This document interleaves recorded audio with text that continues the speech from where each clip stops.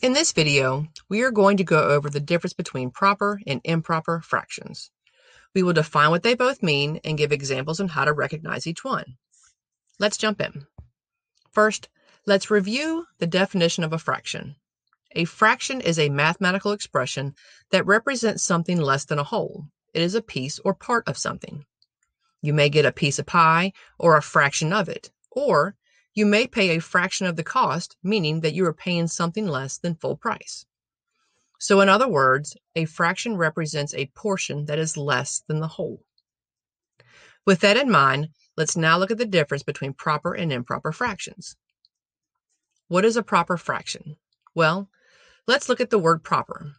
The definition of the word proper is something that is satisfactory or correct. If we look at the definition of a fraction, and think about the word proper, it would mean that the fraction would be stated correctly. If a fraction is a portion of the whole, then a proper fraction is a fraction where the numerator is less than the denominator. So what is an improper fraction? You can think about improper fractions as being the opposite of proper, right? In that case, an improper fraction is a fraction where the numerator is greater than or equal to the denominator.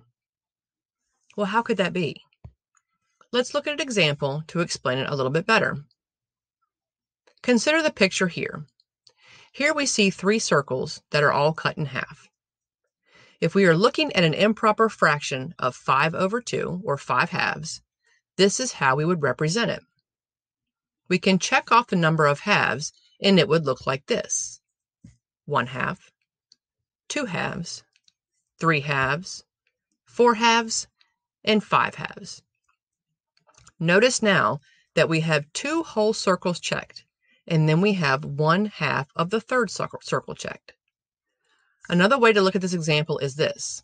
There are two wholes and one half. When you write a fraction this way, you are basically saying that you have a whole number plus a proper fraction.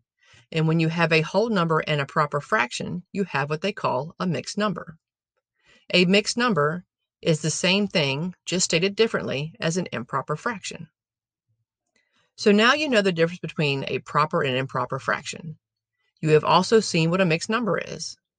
I'll put some links in the description on my other videos around converting improper fractions to mixed numbers.